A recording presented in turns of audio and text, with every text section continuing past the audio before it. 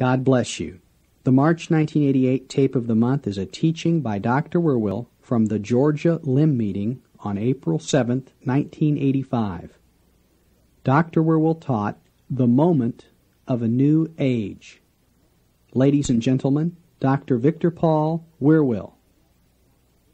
Today I thought I'd like to bless you people in dealing with the subject of the moment of a new age. Saturday is the seventh day of a week, and Jesus Christ arose on Saturday. This in itself is significant because seven, biblically, seven is the number of perfection. And when everything was perfected for your redemption and mine, and Jesus Christ had paid it all, then God raised him from the dead, and it was on the seventh day. These things are all so significant to me because numbers in Scripture are not used haphazardly. They're used with a very great mathematical exactness. And you just keep learning. It was just this week, this past week, that I learned why Jesus Christ was on the cross for six hours. You know, I knew he was crucified at nine in the morning and died at three in the afternoon at the exact hour when the Passover lamb was killed. But I'd really never given it any great thought. Why six hours? Because once they nailed him to the cross, if that was really all that was to it, why didn't he just give up his life then? He didn't die on the cross because they nailed it to him. The scripture says he gave up his life. He laid it down. He could have laid it down five minutes after they nailed him up there and he wouldn't have had to suffer for the rest of the hours. But the reason he was on the cross for six hours, because six is the biblical number for man. And Jesus Christ died for all men's sins all over the world. And that's why he was hanged on the cross and he stayed there for six hours. And the reason he was crucified in the midst of four is because four is a world number. And he died for the sins of the world, therefore, he was crucified in the midst of four. And God raised him on the third day because of the divine perfection of that day. It is also remarkable to me that when Jesus Christ appeared for the first time on what we know as the first day of the week, Easter Sunday, he appeared unto Mary Magdalene. And that record is in Mark 16 class.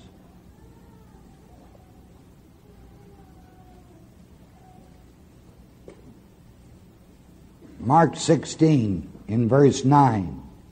Now when, and the word when is after.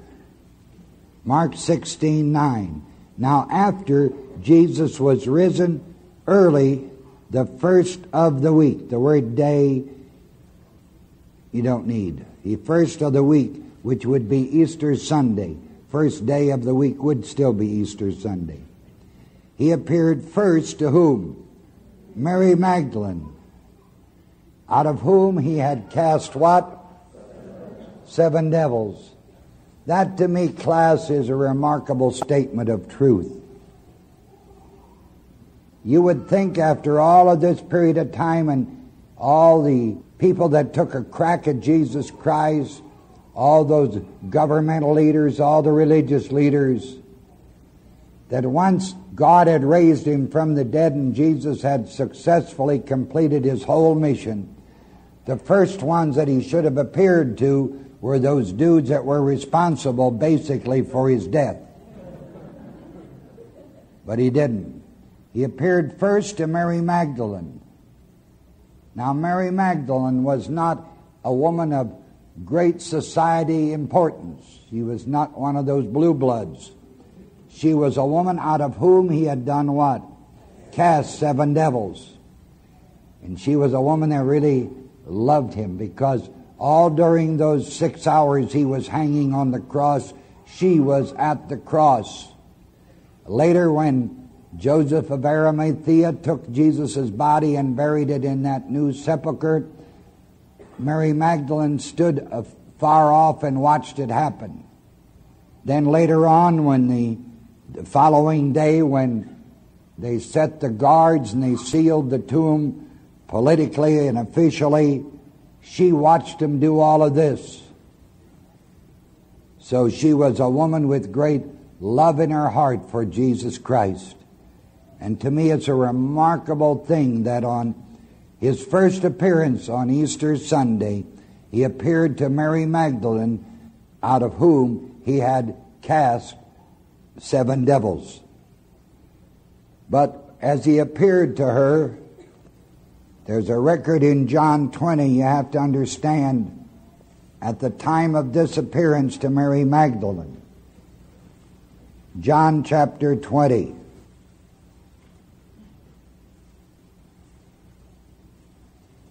Verse 11. John 20, 11. But Mary stood without at the sepulchre weeping. And as she wept, she stooped down and looked into the sepulchre, and seeth two angels in white sitting, the one at the head, the other at the feet, where the body of Jesus had lain. It wasn't there any longer. That's where it had lain. And those two angels said unto her, Woman, why weepest thou? She saith unto them, Because they have taken away my Lord, and I know not where they have laid him. And when she had thus said, she turned herself about and saw Jesus standing in his resurrected body, and knew not that it was Jesus. Verse 15 Jesus saith unto her, Woman, why weepest thou? Whom seek thou? She, supposing him, Jesus, to be the gardener, saith unto him, Sir, if thou hast borne him hence, tell me where thou hast laid him, and I will take him away. Verse 16 Jesus saith unto her, Mary. And she turned herself and saith unto him, Rabboni, which is to say, Master. Then verse 17 Jesus saith unto her, Touch me not, for I am not yet ascended to my Father, but go to my brethren and say unto them, I ascend to my Father and your Father, to my God and your God. She recognized Jesus, and nat- her natural instinct was to reach out and touch him. And then Jesus made this statement Touch me not, for I've not yet ascended. The reason he had to make this statement, because Jesus Christ is the complete fulfillment of all the law. And this was the first day after the weekly Sabbath, Saturday. And on this first day, after that first weekly Sabbath of the Passover, Feast of Unleavened Bread, was when the high priest had to go into the temple and wave the first sheaf of barley and dedicate it because this was the day from which they started counting 50 days to Pentecost. This Easter Sunday morning. Seven weeks of seven Saturdays, and then the following day, Sunday, would always be Pentecost.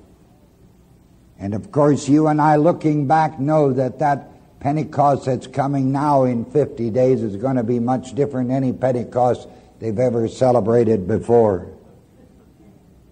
And that's why Jesus said, Do not touch me, because the law required that the individual, the priest that would, high priest that would present that sheaf of barley, in no way could be contaminated or touched by any other human being after he had been cleansed, before he made the offering.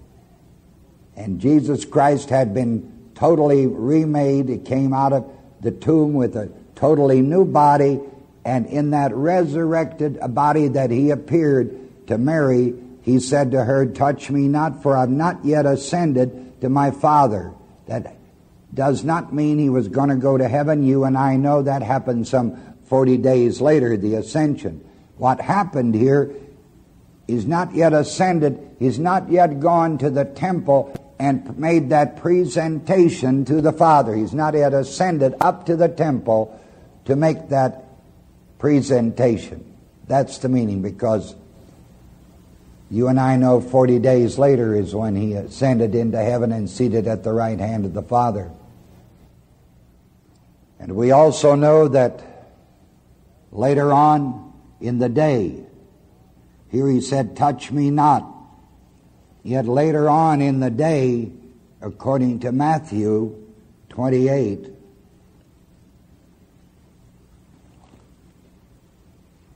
verse 8, and they departed quickly from the sepulchre with fear and great joy and did run to bring his disciples word. Verse 9, and as they went to tell his disciples, behold, Jesus met them, saying, All hail. And they came and held him by the feet and did what? Worshipped him. See? When he first appeared to Mary, he said, Touch me not. Yet here in Matthew, a little while later, they all touch him. They fell at his feet and worshiped him, and that worship does not mean that he was God. They were just grateful that they could see him again. It's a recognition, respect.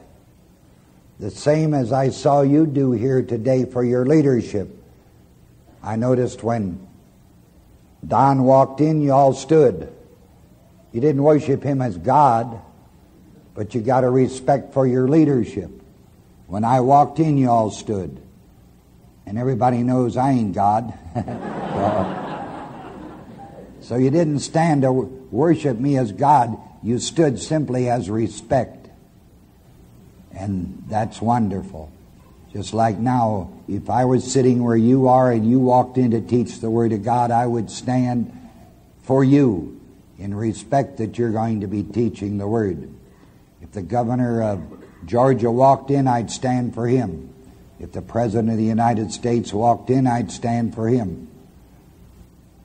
Simply a matter of respect is to worship. That's the meaning of that word. Well, anyways, he said to her, Touch me not, for I'm not yet ascended. Now you know what that means. This Easter Sunday was the first day of the week. And the first day of the week is always the eighth day. Saturday is the seventh day of the week. And following Saturday comes the eighth day, which is the first day of the week. And the number eight means, biblically, a new beginning. So on this first day of the week, when Jesus Christ appeared for the first time in his resurrected body to the people, it was a new beginning. And what a tremendous new beginning it was for the apostles and the disciples living at that time the apostles and the disciples class did not need to prove that Jesus Christ arose from the dead. It was self evident. The sepulchre was there, the grave clothes wrapping intact, but there was no body in it. You know, every two, three minutes you see the fire engine going in this town and then you see cars running up behind it. That's such a common sight in this town. I don't know why anybody ever want to follow a fire engine in this town or a police siren. They're here all the time. Just for a moment, think of this mind blowing situation in Jerusalem. Everybody of any knowledge whatsoever knew that Jesus Christ had died on the cross. They knew he was dead. They knew he had been buried. They knew that the sepulchre had been officially sealed by the government. They'd even set guards to watch it. Everybody knew this. Now, all at once, there is no longer a stone on the door of the tomb. People can look down in. There is the wrappings of the body that have hardened, just in there, like looks just like a mummy laying in there. But there's no body inside of it. Everybody can see it. The tomb, its sepulchre is wide open. How many people from Jerusalem do you think went over there and looked in that sepulchre? Everybody. but there was no body there. That must have blown some minds. the grave clothes, the wrappings were intact, but no body. So the disciples did not need to prove that Jesus Christ rose from the dead. The proof was right there in that sepulchre. You and I, living on this beautiful Sunday 1985, need not prove Jesus Christ arose from the dead. It too is self evident. For speaking in tongues is the external manifestation of the internal reality of God in Christ in you, the living reality and hope of glory. And what a new day, a new beginning day this is for us living at this time. You and I could not be born again. We could not speak in tongues if God had not raised him.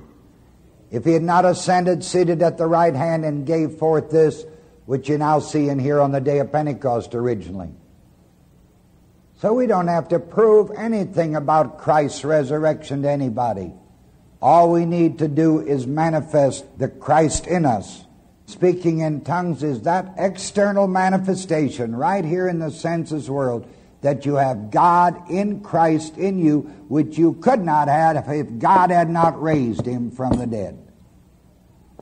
You and I can't go back to Jerusalem and look in the sepulchre, they've gotten rid of it. We don't need it. We've got something even more sure than that open sepulchre. We have the eternal reality and presence and hope of Christ in us. So this is a moment of a new age began at that time, and also for all of us, it's a new beginning for us living at this time. In the book of Hebrews,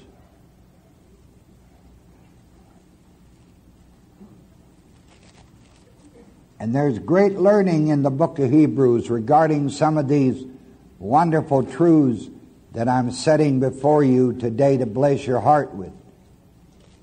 A lot of learning in Hebrews. Chapter 2, please.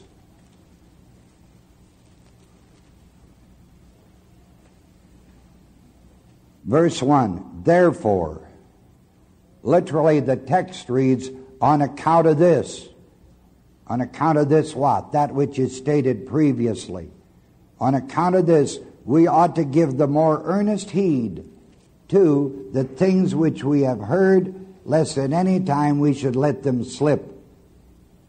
For if the word spoken by angels was steadfast, and every transgression and disobedience received a just recompense of reward, how shall we escape if we neglect so great salvation, which as the first began to be spoken by the Lord, and was confirmed unto us by them that heard?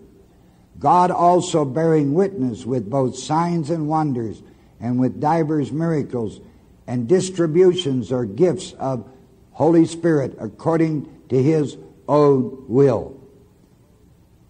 Not to angels hath he put in subjection the world to come whereof we speak, but one in a certain place testified, saying, What is man that thou art mindful of him, or the Son of Man that thou visitest him? Thou madest him a little lower than God. Angels is the word God. Thou crownest him with glory and honor, and didst set him over the works of thy hands.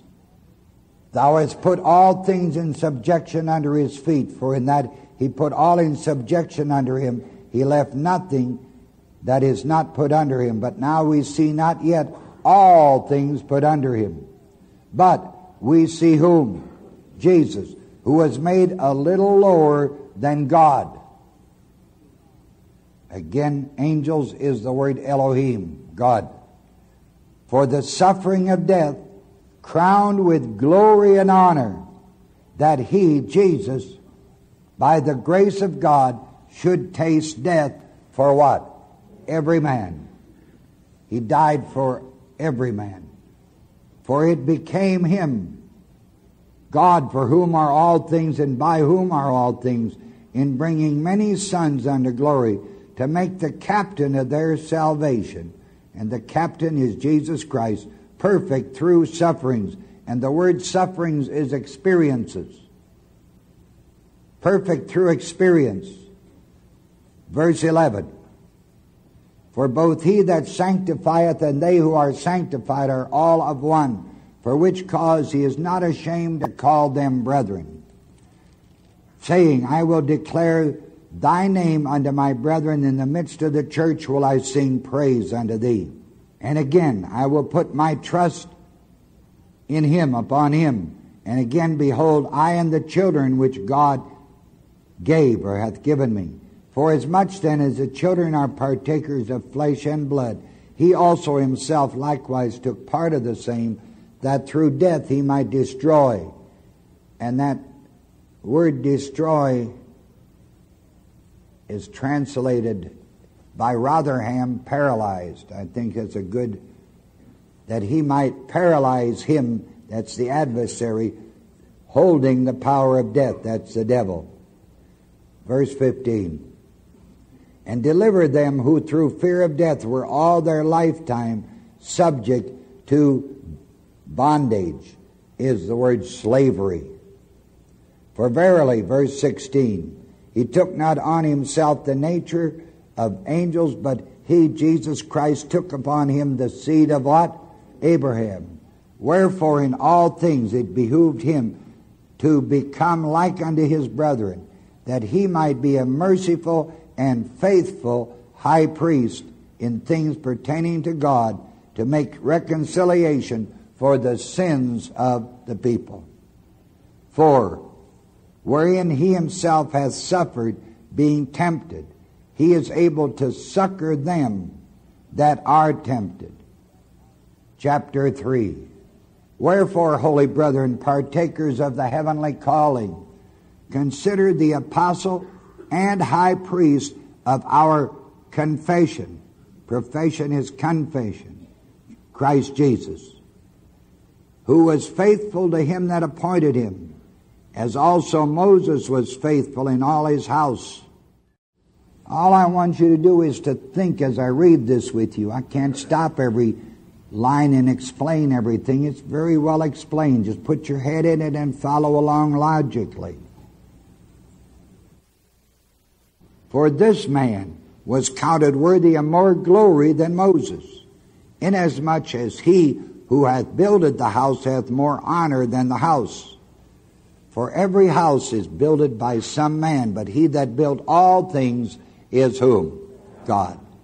And Moses verily was faithful in all his house as a servant for a testimony of those things which were to be spoken later or after but Christ as a son over his own house, whose house are we? If we hold fast the confidence and the rejoicing of the hope firm unto the end. Wherefore, as the Holy Spirit saith today, if you will hear his voice, harden not your hearts as in the provocation, in the day of temptation in the wilderness the provocation was the proving of the children of Israel. and they hardened their hearts in the day in the wilderness. Verse 9 When your fathers tempted me, proved me, and saw my works forty years, wherefore I was grieved with that generation, and said, They do always err in their heart, and they have not known my ways. So I swear in my wrath, they shall not enter into my rest. Not going to get into the promised land. Take heed, brethren, verse 12. Lest there be in any of you an evil heart of unbelief in departing from the living God. But exhort one another daily, while it is called today, lest any of you be hardened through the deceitfulness of sin.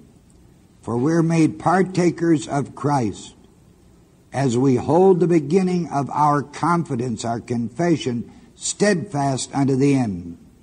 While it is said today, if ye will hear his voice, harden not your hearts as in the provocation. For someone they had heard did provoke. They rebelled.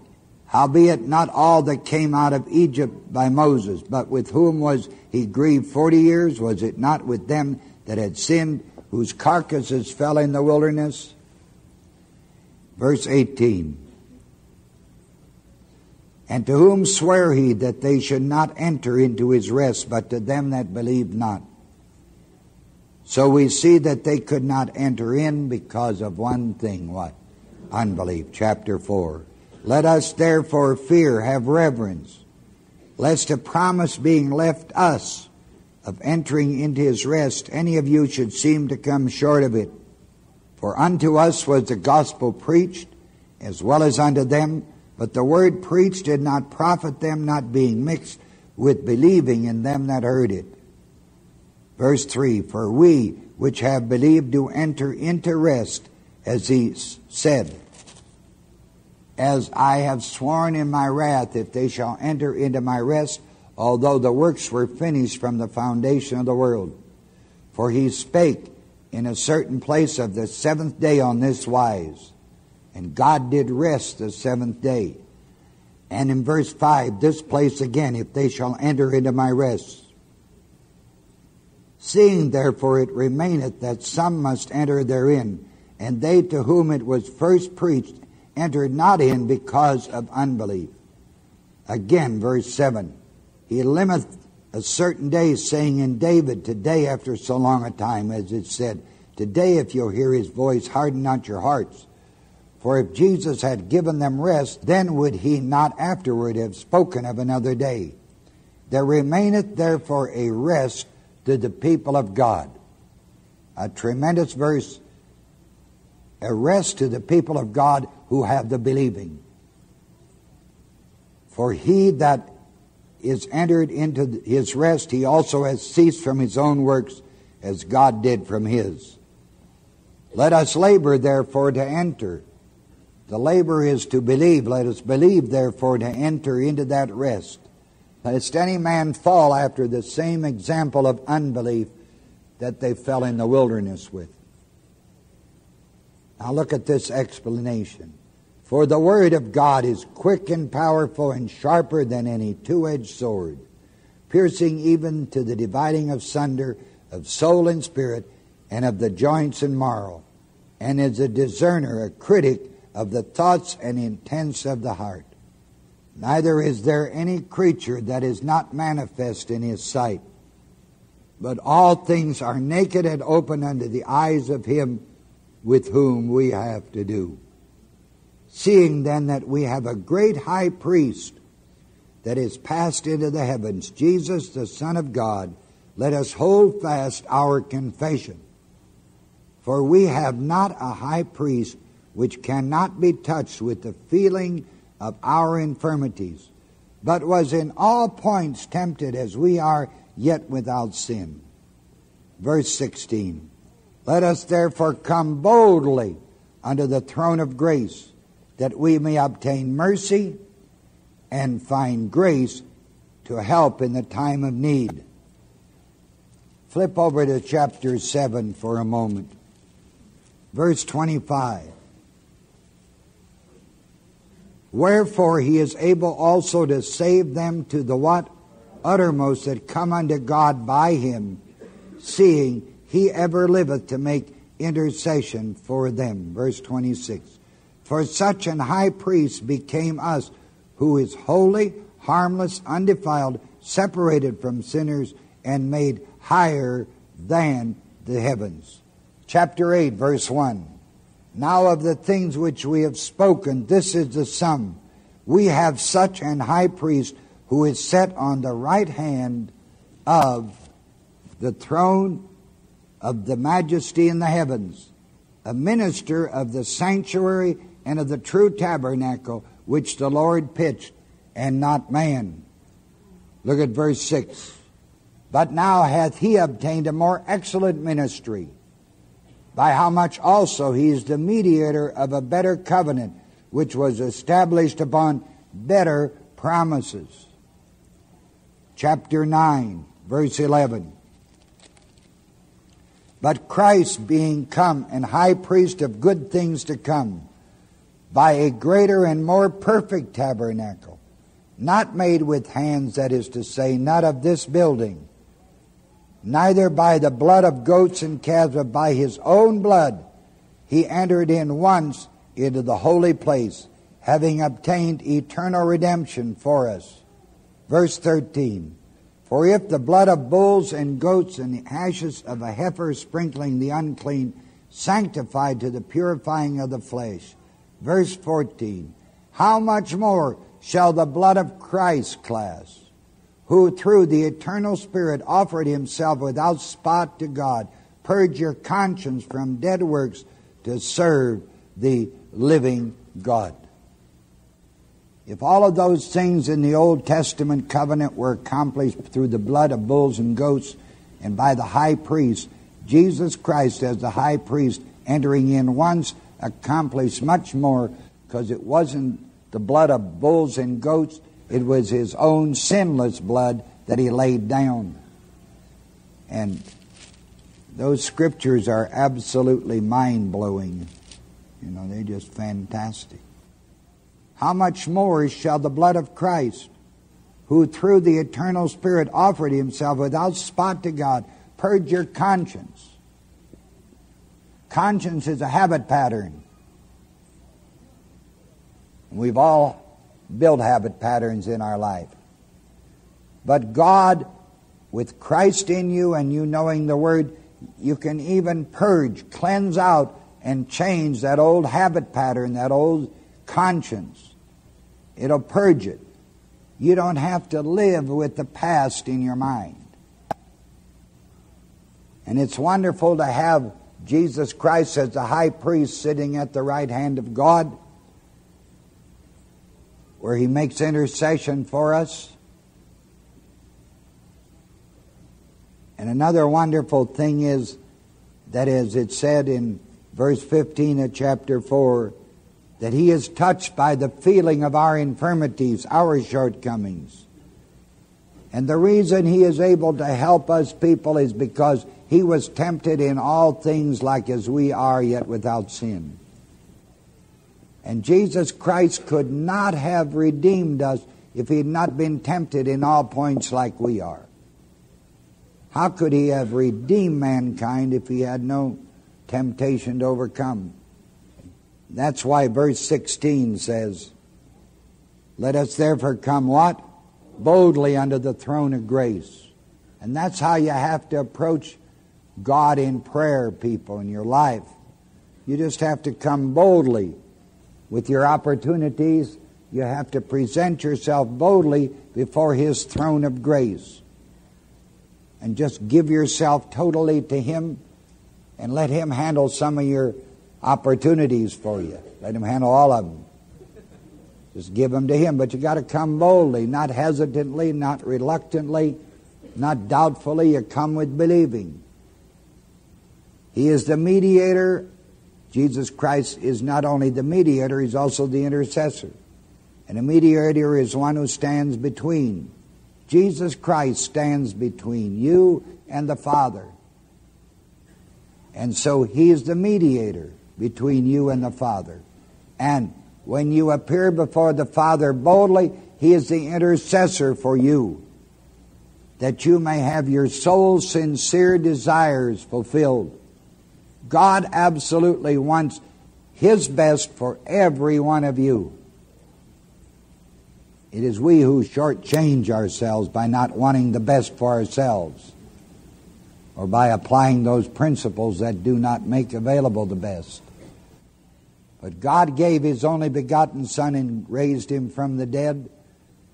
And Jesus Christ appeared here on the first day of the week, which is a new beginning. That was a moment of a new age.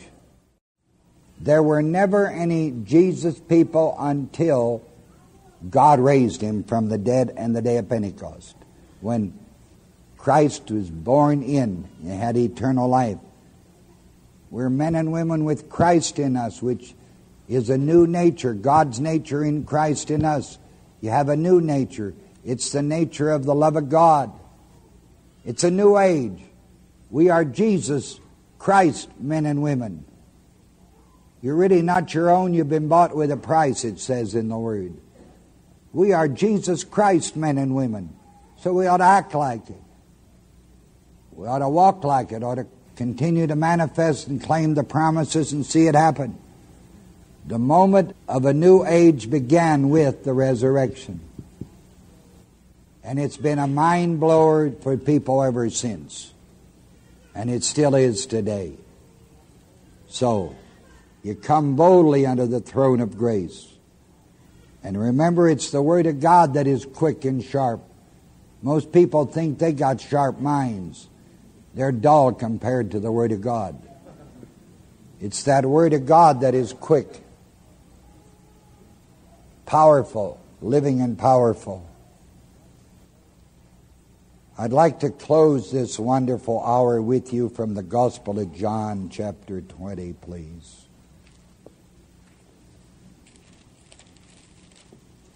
I think the greatest teaching I've ever heard on the word's way or man's way of service Reverend Martindale gave this morning to our people in word and business and profession. It was a gem.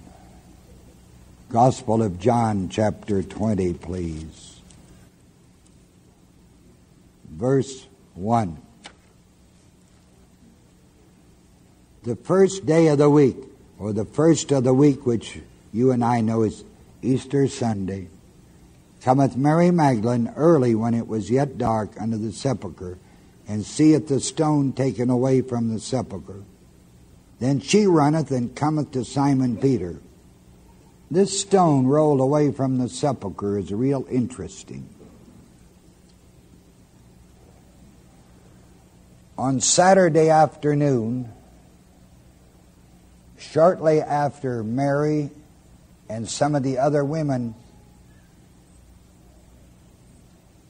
had left, there was an earthquake. And the stone was rolled off of the sepulchre, and Jesus Christ arose. But the women not being there didn't see that stone rolled away at that time. And the scriptures said that when the angel came down and rolled it away, one angel sat on top of the stone. And that all the guards became like dead men. They froze. But you see, the women had not seen that. So on Easter Sunday, as we refer to it, when they come to the sepulchre, they still expect what on top of it? The stone.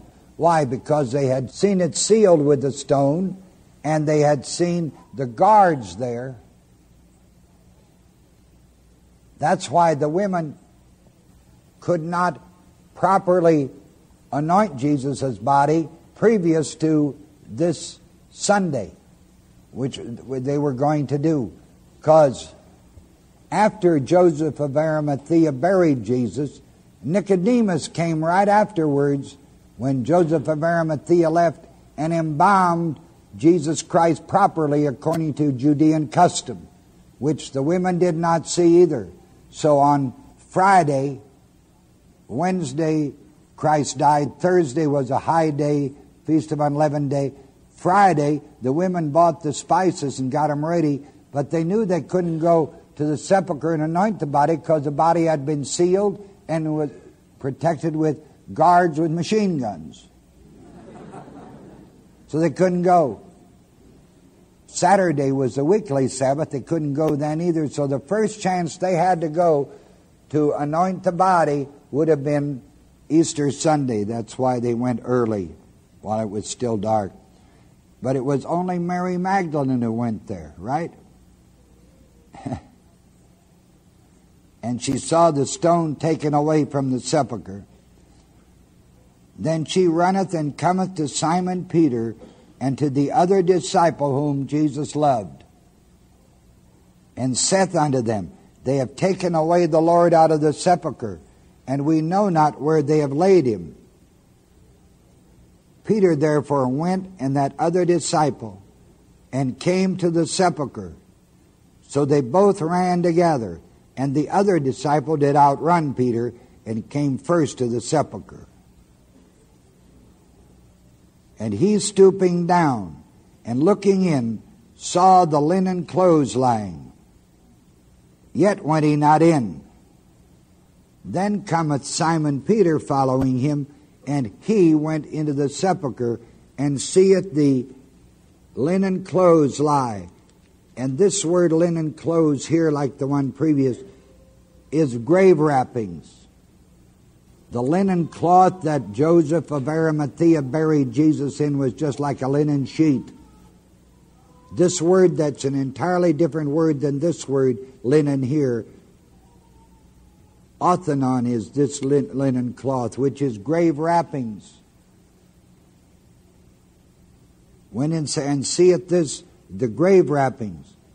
Verse 7 And the cloth that was about his head, not lying with the othonion clothes with the wrappings, but folded together in a place by himself.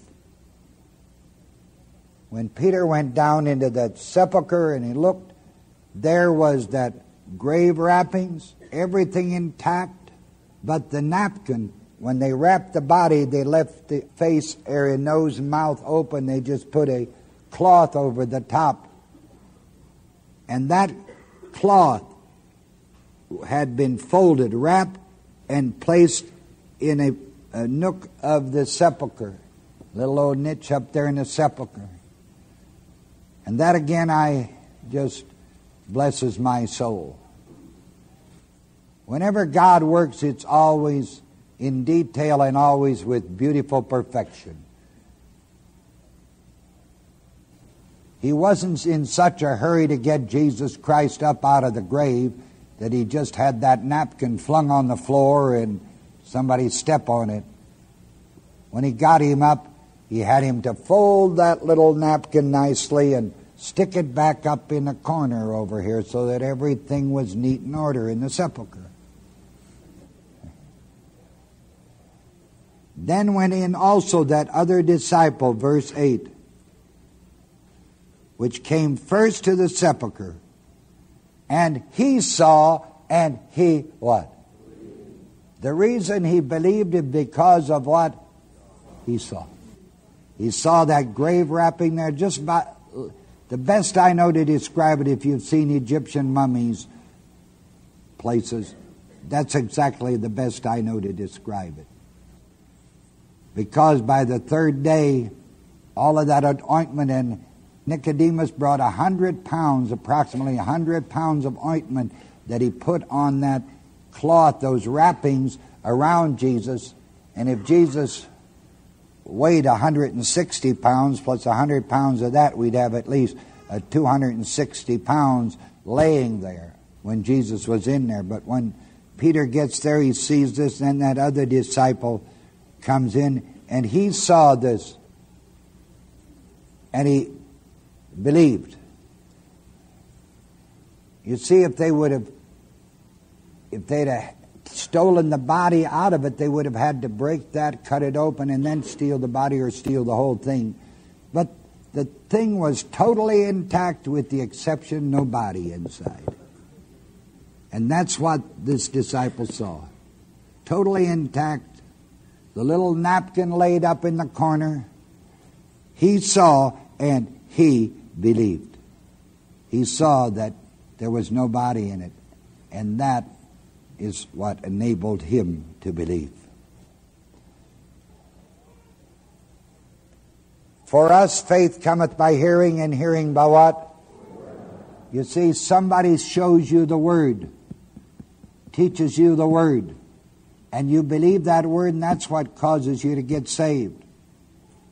Peter and the disciple whom Jesus loved went down into that sepulchre. They saw that and they believed. You see God's Word and you believe. In these resurrection classes, we will show God's Word to people, and those who want to will believe and they get the results of their believing. And if they don't believe, they get the consequences of their unbelief, like the children of Israel did that we read about in the book of Hebrews. So, class, you have only one or two ways to go. You either go the believing way of God's Word or go the unbelieving way and suffer the consequences. To me, a man has to be stupider than stupid not to want to go the way of the Word and not to want to fellowship with people who are endeavoring to walk the way of the Word and to make the living reality of God's presence so real. So today we still see the Word, and this Word makes it possible for us to believe, to get born again, to have Christ in us, the hope of glory. So it's a wonderful day and a wonderful time, and I certainly thank you for allowing me to share my heart, my love with you on this beautiful Easter Sunday, 1985. God bless. Thank you.